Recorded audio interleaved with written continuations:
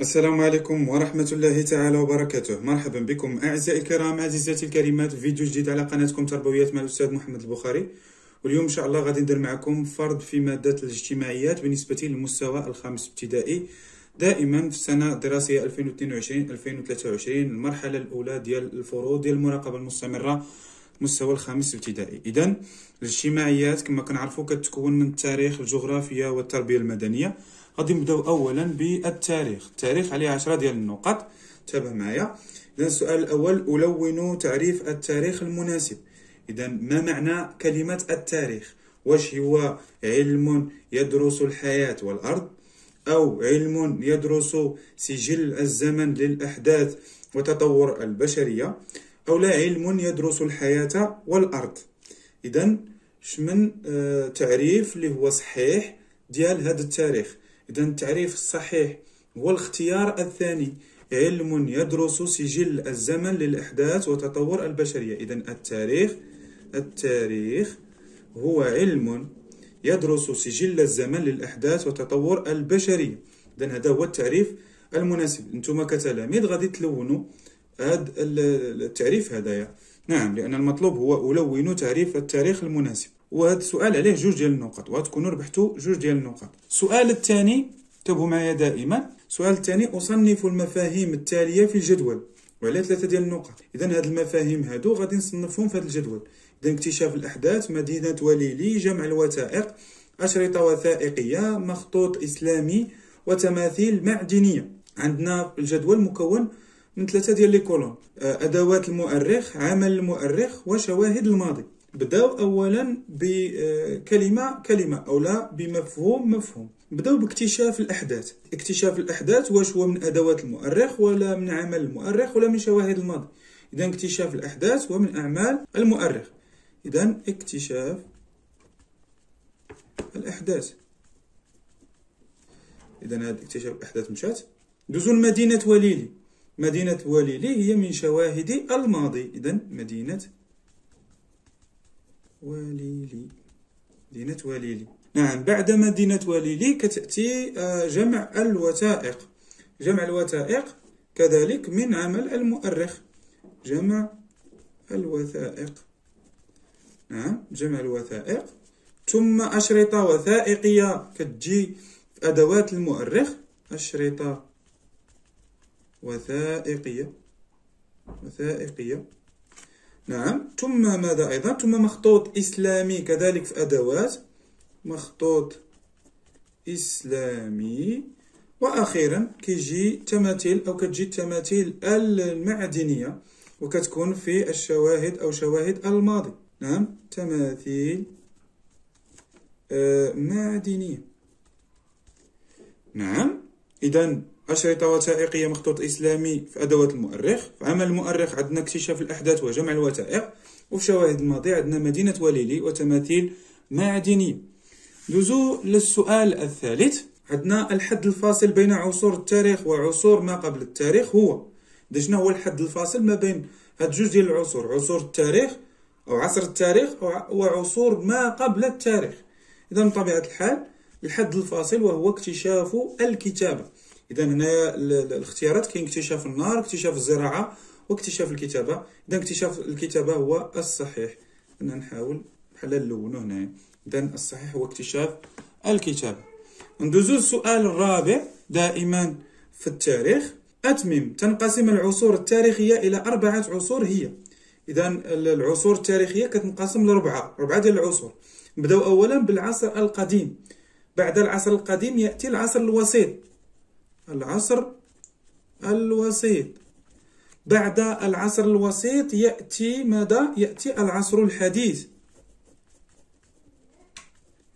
بعد العصر الحديث يأتي العصر المعاصر. والعصر المعاصر هو هو اللي كيعني الفترة المعاصرة. المعاصرة. فترة المعاصرة. نمروا الآن إلى الجغرافيا إذا سالينا دابا التاريخ ربحنا 10 ديال النقط. ندوزو الآن إلى الجغرافيا كذلك 10 ديال النقط. انتبهوا معي دائما.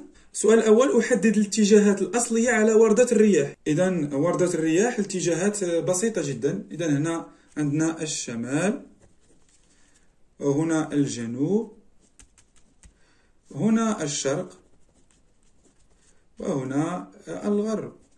إذا شمال جنوب شرق غرب. نعم. ندوزو الأسئلة المرافقة لوردة الرياح. السؤال الثاني ما هو موقع المغرب؟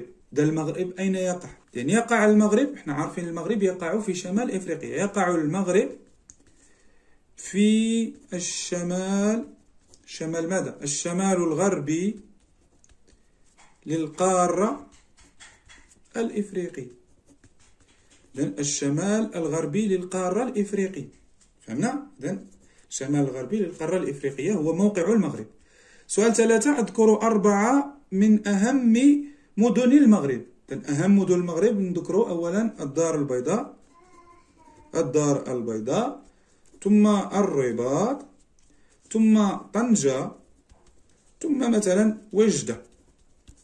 فهم إذا الدار البيضاء الرباط طنجة وجدة العيون إلى غير ذلك من المدن رابعا أذكر عناصر الخريطة. إذا هاد وردة الرياح كنستعملوها في الخريطة بطبيعة الحال باش نعرفوا الاتجاهات. أذكر عناصر الخريطة بدأوا أولا بالعنوان. العنوان. العنوان ماذا يمكننا العنوان؟ يمكننا من معرفة موضوع الخريطة. موضوع الخريطة. بعد العنوان يأتي المفتاح. والمفتاح يمكننا من معرفة مدلول الرموز المستعملة في الخريطة. مدلول الرموز آه، المستعملة.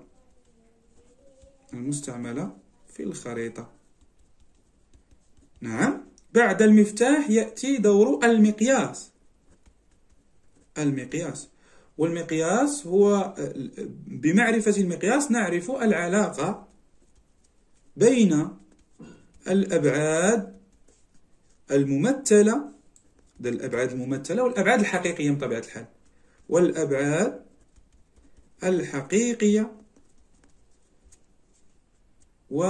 والمطابقة لما في الواقع.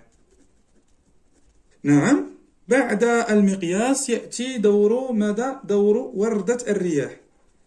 وردة الرياح اللي كتحدد لنا الاتجاهات. إذن تحديد الاتجاهات. نعم يعني الجهات الجهات آه، الأصلية الأربع.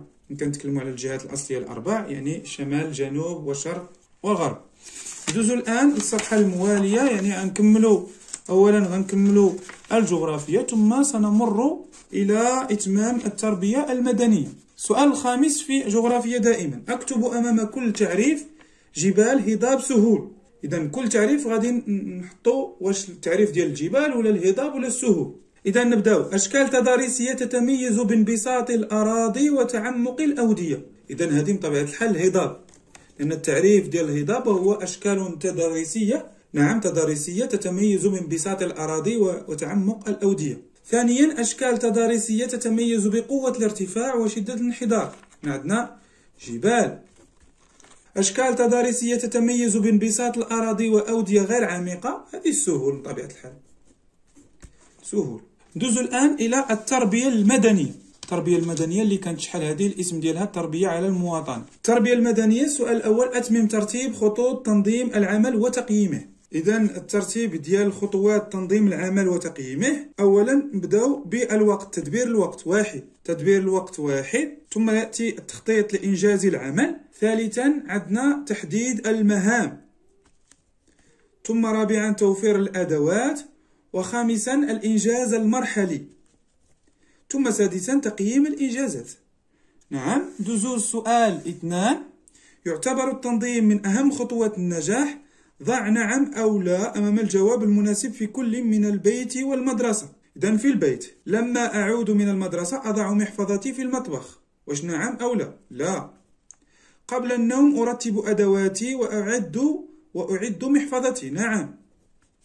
بعد العشاء أسهر مع التلفاز. لا. أراجع دروسي استعدادا للفروض. نعم. عندما أستيقظ صباحا أترك فراشي مبعثرا حتى ترتبه أمي. لا. في المدرسة. ألهو في طريقي إلى المدرسة. أستسمح على العطب إذا أحترم مواعيد المدرسة. نعم أحترم أصدقائي وأساتذتي. نعم كذلك. أعبث بممتلكات المدرسة وأضع النفايات تحت الطاولة. لا. ثم أشارك في الأنشطة وأقف باحترام لتحية العالم. نعم. ثم ندوزو السؤال الثالث. السؤال الثالث عندنا ضع علامة أمام التعريف المناسب لمعنى ميثاق القسم.